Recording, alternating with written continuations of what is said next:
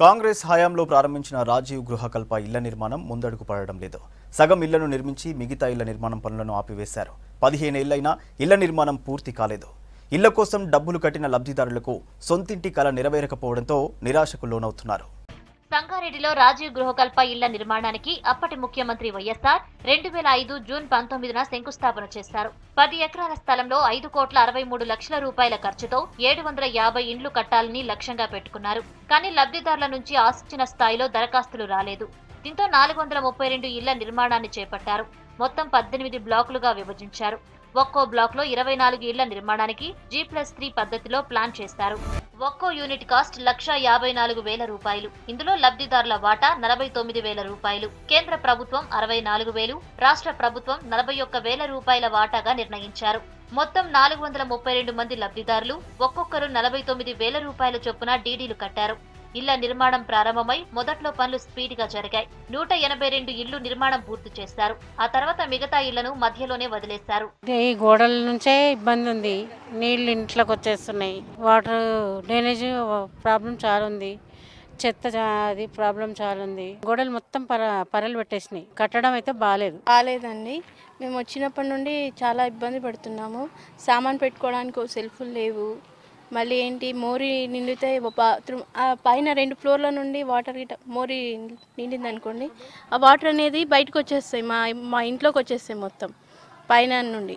మేము ఇబ్బంది పడుతున్నాం చాలా. కన్స్ట్రక్షన్ అయితే అస్సలు బాగాలేదు కొంచెం పట్టించుకోండి. ఇళ్ళ నిర్మాణం ఆగిపోవడంతో డబ్బులు కట్టిన లబ్ధిదారులు ఎదురు చూస్తున్నారు. పూర్తయిన నూట ఎనభై రెండు ఇళ్ళకు కూడా ఆశించిన స్థాయిలో మౌలిక సదుపాయాలు కల్పించలేదు. మిగతా ఇళ్ళను కూడా పూర్తి చేసి పేదలకు పంచాలని లబ్ధిదారులు చాలాసార్లు అధికారుల చుట్టూ తిరిగినా ఫలితం లేదు. మేము వచ్చేసి టూ థౌజండ్ లైన్లో లక్ష ఇరవై ఐదు వేలు కట్టాము. అంటే మూడు ఇన్స్టాల్మెంట్ లోపల బ్యాంకులో కట్టమని చెప్పారు. దాని మీద కట్టిన తర్వాత మాకు రెండు వేల పదహారులో ఇక్కడ ఇల్లు మంజూరు చేశారు.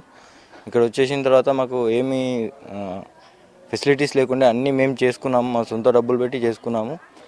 అయినా కూడా ఇక్కడ లోపల సెల్ఫ్లు అని ఏమి అలాంటివి ఏమి లేవు. ఇక్కడ మూడు బ్లాక్లు మాత్రమే శాంక్షన్ చేశారు. ఇంకా చాలామందికి ఇవ్వాలి. చాలా ఇంకా చూడండి ఎలా ఉన్నాయి. అసలు కన్స్ట్రక్షన్ కూడా జరగలేదు ఎవరికి ఇవ్వలేరు. పూర్తి స్థాయి లబ్ధిదారులకు ఇంకా అనేక మంది లబ్ధిదారులు మరి పెండింగ్లో ఉన్నాయి.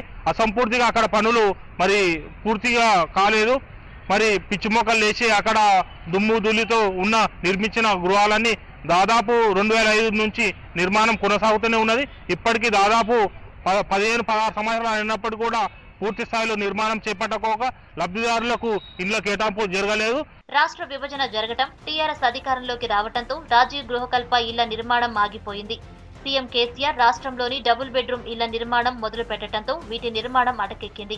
అసంపూర్తిగా నిర్మించి వదిలేసిన రెండు వందల యాభై ఇళ్ళు మందుబాబులు అసాంఘిక కార్యకలాపాలకు అడ్డాగా మారాయి. ఇళ్ళ చుట్టూ పిచ్చి మొక్కలు పెరిగాయి. పందులు కుక్కలు స్వైర విహారం చేస్తున్నాయి. ప్రభుత్వం ఇప్పటికైనా దృష్టి సారించి ఇళ్ళ నిర్మాణం పూర్తి చేయాలని జనం కోరుతున్నారు.